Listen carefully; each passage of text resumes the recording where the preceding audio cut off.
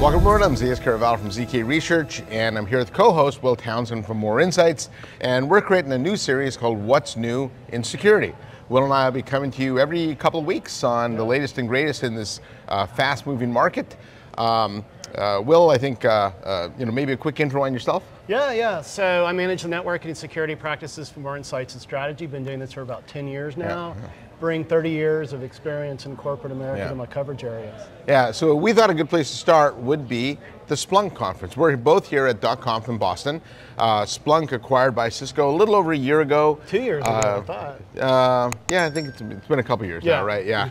Uh, this is the, the, I think though, this is the first .conf where Cisco's fully been integrated, yeah. and there's actually a lot of product integration. And so um, uh, initial thoughts on the show. What do you think of this year? Um, I love the energy. Yeah. I, I, got to meet Buttercup. I had no idea who Buttercup was, uh, so I got a selfie yesterday, shared that on social.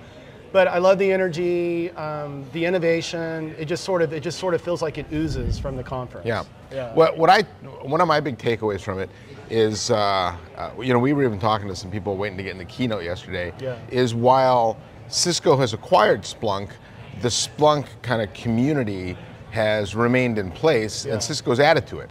And a lot of times when you have a company the size of Cisco buy someone, um, eventually that community fades away. And I, but I think Cisco is very aware of yeah. the impact of the community. In fact, Jeetu Patel, Chief Product Officer Cisco, said on stage, companies can make good products, but communities drive movements. And, and so they've been very aware of trying to keep that community in place. Yeah, and we've seen that yeah. with other companies as well, right? You know, Hewlett Packard Enterprise, Aruba with the Airhead community and it's important. Um, culture is important. I've been through a couple of change of control events in my career that some went well and some didn't go so well. But, yeah, yeah, and so one of the things I think um, that everyone, all industry watchers have been looking for is why did Cisco buy Splunk? Yeah. If you talk to a lot of financial analysts, they would tell you that paying 24 billion for a company who does four billion revenue and is margin accretive isn't really a bad deal right. in, it, in of itself. So if all they did was bring it in and add it that would be fine. But they've actually done a tremendous amount of integration. Yeah. And uh, they, they had a whole bunch of announcements yesterday. Mm-hmm. Uh, maybe the place to start, uh, Cisco Data Fabric, which yeah. is, um, uh, they took the concept of, you know, Splunk's, um, uh, the way they ingest data and they can access it, you know, from uh, places of rest and broaden that out. What were your thoughts on that? Um, I think it's super powerful and the focus on machine as well. Um, that's the most unstructured data on the planet, right? And this leans and leverages uh, Splunk's capabilities. And one of the big reasons why Cisco acquired Splunk was for that data, that yeah. data layer, right? Yeah. So very impressed by yeah. that. Yeah. And what's what's interesting to me too is that um, when when uh, Chuck Cisco CEO talks about their role in AI um, on the earnings calls, he talks a lot about uh, Cisco infrastructure to enable companies to do AI. Right. But if you look at all the data they have from Splunk data to Cisco telemetry, ThousandEyes, AppD, yeah. Meraki data, list goes on and on, you know, collaboration data. The whole full stack observability. Yeah, yeah. yeah. They actually have more infrastructure data than arguably any other company around. And yeah. I'm, I'm fascinated to see what how they monetize that because that is a, you know, any like lots of companies can build infrastructure, and we can argue about yeah. whether Cisco's is better than somebody else's. Right. But from a data perspective, that really is a pretty unique asset. It is, and it really it's a key differentiator for Cisco as well. And they've been on this observability journey for quite yeah. some time, even before the acquisition of Splunk. You mentioned ThousandEyes, uh, AppDynamics, CDN, SamKnows, and what Splunk does is just, you know, it, it brings just a, a, further level of depth to what yeah. they're doing with FSO. Yeah, and so from a security perspective, uh, you know, if you think about uh, SOC operations and observability, they were kind of separate.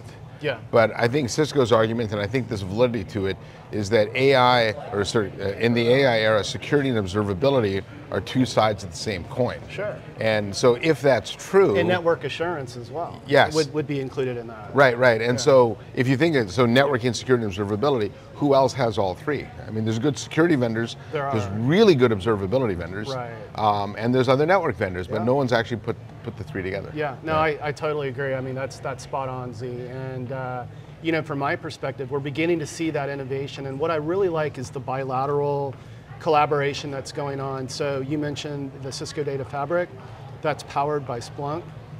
Um, we also uh, heard this week um, about the integration of Cisco's AI Canvas that was launched at Cisco Live earlier this Yeah. year, is now integrated into Splunk. And so I love how the, the bilateral collaboration and engineering efforts are going and, and really it's, it's one plus one equals three from my perspective. Yeah, well, actually, that so that was really interesting. They rolled out AI Canvas, and when I talked to the AI Canvas team about it, is they didn't want it to be like yet another dashboard. And I think um, uh, I've often poked Cisco about this that if there was uh, uh, uh, if there was a magic quadrant for uh, single panes of glass, Cisco would be far the runaway leader because they had so many. Right. And they're, they're, they're trying to consolidate those down. And so the goal now Yeah. is to take AI Canvas, integrate it into Meraki, integrate it into Catalyst Center, and integrate it into Splunk. Right. And then eventually, you know, everything will roadmap to the same dashboard Yeah. to AI Canvas. But for now, Yeah. you can work in Splunk and then bring up AI Canvas when you need to. And, uh, and it can go, you know, do all those insight when you want to go multi-domain Yeah. or, or, or, you know, multi-people, right? So um, I thought the way they rolled it out was pretty cool. No, I agree. And what this is all doing, from my perspective, it's really delivering on Cisco's vision and ambition to create a platform, right? And we've seen the success of platform in the security space with Palo Alto Networks and, and others. And this is truly that that's what it's doing. It's the glue that's bringing everything together, from my perspective. Yeah, and uh, I think you and I both met with Tom Gillis, and uh, We did, yeah. I love Tom. Yeah, I love the Tomisms as well. but he, he was very clear about that. That when they acquire companies now, one of the criteria they look at is how easy it is to integrate into that platform. Right. So you might be able to go out and get great great technology.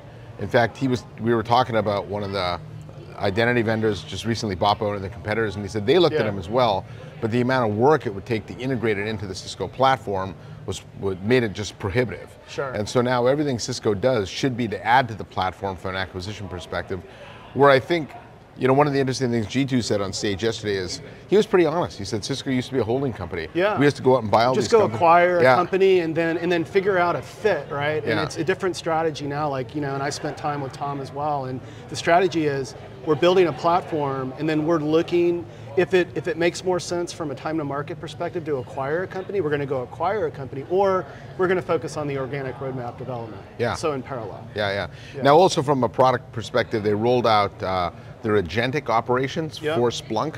Right. Uh, this is to me is going to be. I'm really fascinated to see the uptake of this because, Yeah. um, uh, you know, on one hand, engineers are going to look at it and go, "Oh, it's doing our job." Yeah. And I've heard this song before. In fact, I remember talking to some doctors at Mass General a couple of years ago. They had put some NVIDIA stuff in to look at MRIs, Mm-hmm. and the doctor, one of the doctors said to me, he said, first, all the doctors were dead set against us. You're not looking at our MRIs. We're doing that. Exactly. But then what they That's their realized, value add, yeah. no, no, but the, the treating the patients is their value add. True. And so he Yeah. we said, what pre-AI, they would spend about 80% of their time looking at MRIs trying to diagnose them, only about 20% treating patients. Yeah. Now it's flipped. Wow. Right? So Okay. I think for the SOC engineers, agentic may scare them a little bit, Yeah. but I think at the end of the day, all that stuff that they do, you know, the, looking through log files goes away. And I thought one of the things that got a big cheer on stage was using agentic to create documentation. Right. Right? Yeah. Because who does that well? Oh yeah, you know, incident reports. Who wants to do that? Yeah. Who wants to create a situation report, right? Yeah. And that's the value, and it's going to free analysts and, and SecOps teams to do more value-added work, right? It's gonna it's gonna help them be more efficient in the research and with incidents and that sort of thing, and drive faster mean time to resolution. The other thing I love about Agentic Z is that it finally addresses what I think has been a big hole for Cisco, which is their automation strategy. Through all the acquisitions, they have all, they had all of these different automation suites. Now, Agentic AI can go address that very, very broadly. Yeah, yeah. Now you mentioned the platform, and it's something that Jeetu Patel, their chief product officer, has been pushing since you took over. Yeah. How do you think that's going? Um, I think I think they're well on the way um, to get there. Um, it takes time. Um, it's been, for my estimation, 15 to 18 months since they set this vision. Yeah. So, but I mean, you know, Cisco Live. I mean, the payload there. You and I wrote about it. I, I wrote about it on Forbes. It was tremendous, and um, and now you know here at .conf, it's just uh, it's building upon that momentum from my perspective. Yeah, Partner Summit's coming up too, so expect more there. Yeah, we'll both be there, Um, right? Yeah, yeah, and uh, uh, I think this is something that Cisco has lacked really for a long time. You know, prior to being an analyst, I was an engineer in Avar. And we I was a product marketer. Yeah, yeah, yeah. we sold a lot of Cisco voice over IP because of that platform approach. People just inherently believed that when you ran Cisco calling on a Cisco network, it worked better. Yeah. But somewhere along the line, through all these acquisitions and fiefdoms. Something got lost. Yeah, something got lost, and yeah. so there was no real benefit of Cisco security and a Cisco network. And uh, you know, if you if you think about like the whole concept of the smart switch, yeah. it turns every port into a mini firewall. Sure. Right, and so. Um, in fact, I, during his part of the keynote yesterday, Tom actually said eventually you won't need most of these firewalls. Appliances, yeah, right? Yeah, yeah. I mean, and it's so much more efficient because you're you're you're bringing networking and security closer together. You know, the smart switch. This is a new category for Cisco. They've they've taken it, you know, you know, very very broadly into very different domains. And, and what I like about you know having a DPU on a switch is that you can embed security and network services and it just works better. Yeah. It's more fully integrated. Yeah, well, you know, clearly when you've got all these agents performing things and devices moving around, and if Jensen's prediction of the next wave of AI be physical AI, yeah. we'll have more autonomous things running around right. our, our businesses. Who knows yeah. We have and, robots running around Austin, Texas right now. Yeah. It's kind of freaky. uh, but I don't believe you can actually secure things using perimeter firewalls anymore. Um, it just, it just, you know, I guess if you had infinite dollars, maybe yeah, you could, yeah. but it's too expensive. And even if you did, the operational cost would be so so high and so burdensome that it yeah. it wouldn't make any sense. And so you know, and I think traditional firewalls too, they're almost like a beacon. They're almost like flashing out there, yeah. hey, bad actor, you know, here I am, come, come, you know, come, you know, infiltrate my network. So yeah, it's got to change. Yeah, and so if you look ahead uh, at this, you know, Cisco Splunk. Um, uh, know, let's talk about what we'd like to see, and I'll I'll, I'll go first. I, would actually like to see Cisco be able to take a lot of the data and insights they have and apply it to business operations. And I saw a little yeah. bit about that at NRF. Uh, Brian Bedford in the Cisco booth showed me they had like a combination of Meraki data and Splunk data, and they were able to show retailers like how their store was performing, you know, how people moved around it, things like that. But yeah. but that gave them a much better idea of um, you know being able to measure every store against each other from a performance perspective. And sure. I, I, think um, Cisco's never been great at selling to line of business. Uh, but I think in these areas where they get really competitive with some of the bigger IT vendors, yeah. being able to go around IT and go to line of business would actually be a real feather in their cap. Yeah, no, I agree. I mean, from my perspective, what I'd like to see Cisco do a little bit more, be a little more preemptive with, with the security yeah. stuff. So, you know, Tom Tom came back. Um, Tom Gillis has done a great job, you know, driving the portfolio strategy and the depth and breadth and all of that. Um, a lot of it is reactive. You know, they're, they're, in Cisco is focused on what's important, endpoint, identity, you know, all of that. But you know, a more preemptive approach uh, would be would be beneficial. I mean, considering maybe consider DNS security as well. Yeah. Um, because you know, the majority of malware payloads are delivered, you know, through through DNS queries. So yeah. um, that's what I'd like to see them do. Yeah. Actually, DNS security is one of those no-brainers that I don't know why every company doesn't yeah, run. Yeah, and you know, and NIST just recently with its you know most recent publication uh, recommends it as a key focus yeah. for, for any security architecture. Yeah, so, yeah. yeah. And uh, the other thing I'd like to see actually is a little splunkiness brought to Cisco. Okay. I, I thought the, yeah. the, you know the kind of funkiness of the audience here uh, used to be that way at Networkers a long time ago, and yeah. now Cisco Live, but. Yeah. Uh, you know, isn't Cisco's really kind of corporate now? Yeah, you very conservative, yeah, right? Yeah. And I'd like to see a little of that swagger yeah. come back to Cisco. So well, and, and as I've met with executives, I mean, many of the executives that I met um, are former Cisco as well. Yeah. So I think the cross uh, cross pollination will happen over time. Yeah.